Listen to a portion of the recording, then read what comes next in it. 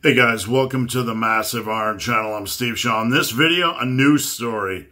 The Olympics have kicked out boxing, have kicked out Olympic weightlifting, and they'll be replacing them with skateboarding, sport climbing, and surfing. Before I get into that topic, if you have any questions or comments, drop them down below. The best topic ideas I turn into videos just like this. All right, I don't do many news stories, but this one was an interesting one, and I want to know what you guys think drop a comment down below.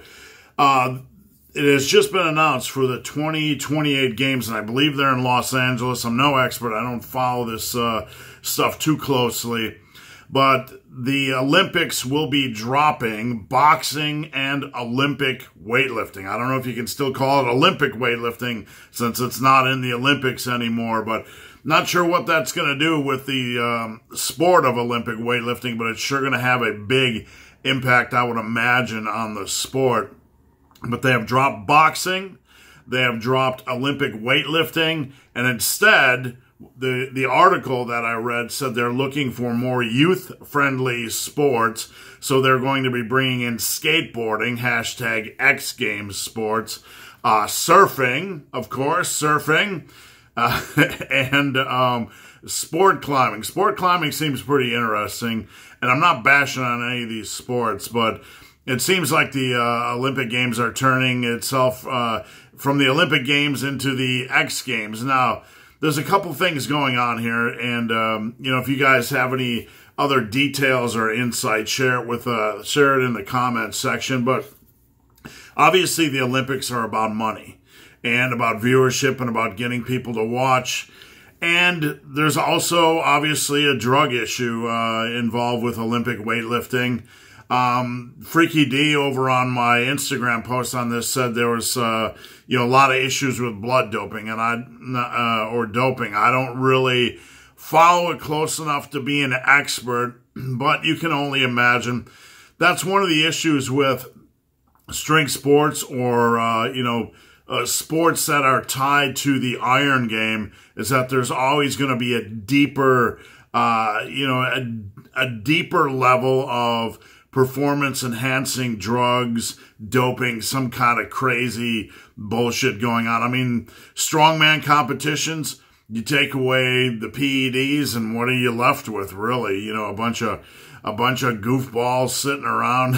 you know, it'd probably still be pretty impressive, but it wouldn't look like what it looks like today. I mean, the guys would still be big and strong, but you know that, that that's a topic for another story. But you know what I'm saying. You take away the PEDs, and what would um, what would top level bodybuilding look like? You know, in Olympic weightlifting, obviously it's not all about size, but Obviously, when it comes to winning, there's going to be some PEDs in the equation, etc. And I'm sure that's one of the reasons why the uh, the International Olympic Committee will claim they want to pull it. But, you know, like any sport, people are finding a way to get an advantage. So I don't know. There's probably some deeper degree of politics and some deeper degree of bullshit. But at the end of the day, it's probably a deeper, a deeper reach into the cash bag and, um, you know, there's got, I would say follow the money. There's got to be a huge issue when it comes to money, um, you know, in removing boxing and Olympic weightlifting from, from the, the Olympics. I don't know what you guys think. You know, there's, I've, things like CrossFit and stuff like that have exposed more people than ever to Olympic forms of weightlifting. And uh, I'm certainly not propping up CrossFit by mentioning them, so don't get that confused. Don't cross those wires.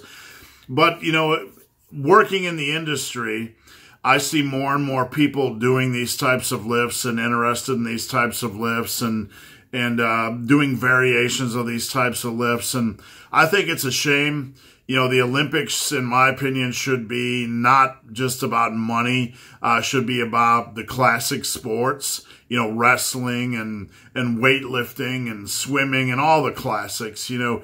Uh, and if there's an issue with any specific sport, you know, it's something that the Olympics have to work out with all the people involved and all their big brains and trying to figure out that puzzle to keep the sport clean and lean and, and on track. And, uh, you know, a better environment for all competitors, but I think it's a shame.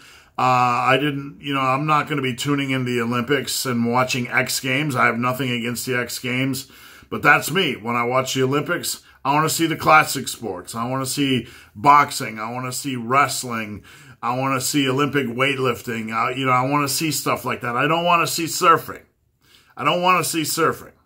I don't want to see skateboarding. I really, really don't. So let me know what you guys think. Drop a comment down below. So guys, hope this video has been of some uh, help. If you have any questions or comments, drop them down below. If you made it this far in this video and have yet to subscribe to my channel, please do. I'd appreciate the support. So guys, as always, thanks for watching. Have a great day.